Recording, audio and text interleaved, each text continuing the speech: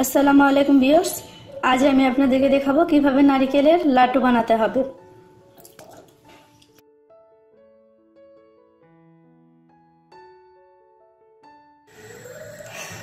আমি এখানে নারিকেলের নাড়ু বানানোর জন্য আমি এখানে একটি পাতিলে একটু সামান্য পরিমাণের বাটার নিয়েছি।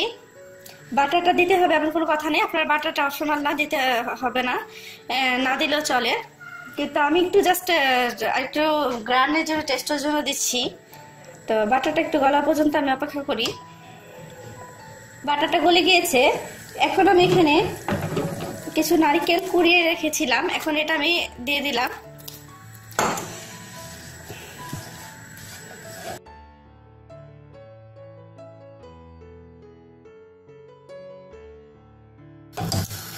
আমি এটাকে এখন ডিম আছে, আমি মিডিয়াম আছে, এটাকে আমি এখন একটু লাড়াচাড়া করে দিয়ে নিয়েছি।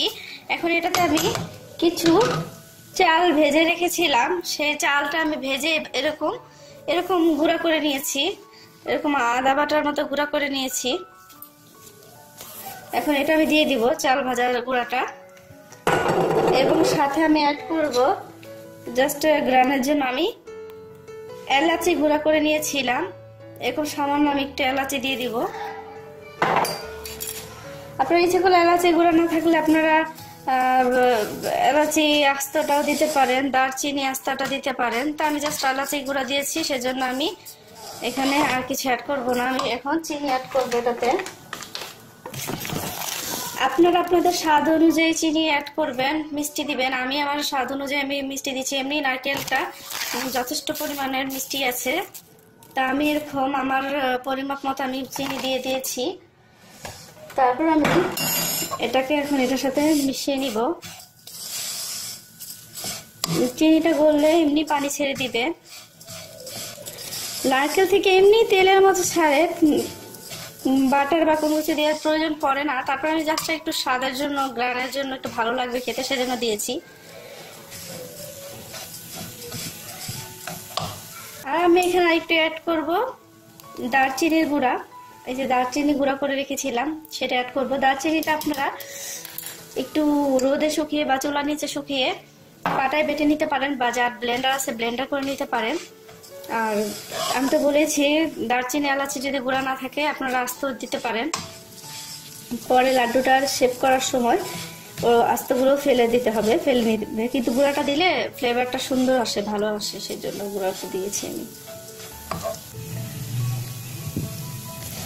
আমি এটাকে লাড়াচাড়া দিয়ে এখন এখানে আমি সামান্য পরিমাপের পরিমাণে আমি এখানে একটু দুধ অ্যাড করব। আপনার ইচ্ছা করলে পানি অ্যাড করতে পারেন। এই যে ছোটো গ্লাসের আধা গ্লাসের মতো আমি এখানে একটু দুধ অ্যাড করেছি। আপনারা যদি ইচ্ছা করেন তাহলে এটাতে পানি অ্যাড দিতে দুধের পরিবর্তে পানি দিতে পারেন। আমি দুধটা দিয়েছি। পানি দিতে আর যেহেতু এখানে একটু চাল ভাজা গুঁড়া করে দিয়েছি, সেই জন্য আমি পানিটা বা দুধটা দিয়েছি।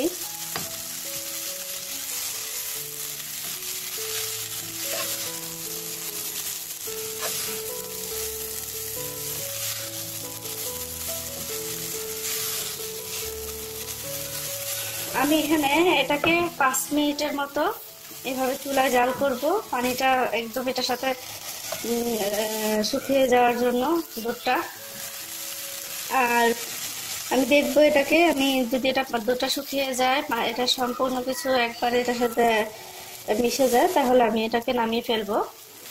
তো আমি এখন এটাকে এরকমভাবে কিছুক্ষণ, এই যে হয়ে গিয়েছে এটাকে আমি একটা প্লেটে এখন এরকম গরম গরম থাকা অবস্থায় যে হাতে নিতে পারি, এরকম একটা গরম অবস্থায় আমি এটাকে গোল গোল করে নিব। এই যে চামচের সাথেও একদম লাগছে না। আর মনে রাখতে হবে, এখানে পানি বা দুধ যেটাই অ্যাড করি, সেটা যেন আপনার শুকিয়ে যাওয়ার পরে, একবারে শুকিয়ে যাওয়ার পরে তারপরে যেন এটাই হয়। যখন দেখবেন এটা একসাথে এটা একটার সাথে একটা যে এরকম গোল গোল করলে ভাঙবে না, গুঁড়ো গুঁড়ো হবে না ওইভাবেই এটাকে নামিয়ে ফেলতে হবে। আর দ্বিতীয় কথা হচ্ছে, আপনাদের এটা লক্ষ্য করতে হবে যে পানিটা যেন ভালো করে এটা শুকিয়ে যায়। এই জন্য আমি পাঁচ মিনিটের মতো জাল দিয়েছি, আমার পানিটা পাঁচ মিনিটে শুকিয়ে গিয়েছে।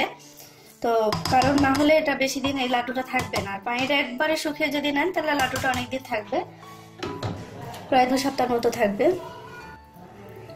এখন আমি ঠান্ডা পানিতে হাতটা এভাবে চুবিয়ে, হাতটা একটু ডুবিয়ে তারপরে আমি এরকম এটাকে গরম গরম অবস্থায়, হালকা গরম গরম হাতে নিতে পারি, সেই অবস্থায় আমি এটাকে এভাবে নিব।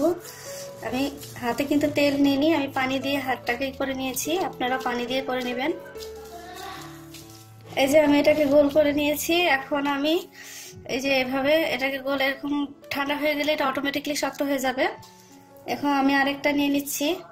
তো আমি এরকম সবগুলো এভাবে একরকম করে আমি এরকম গোল গোল করে নিব।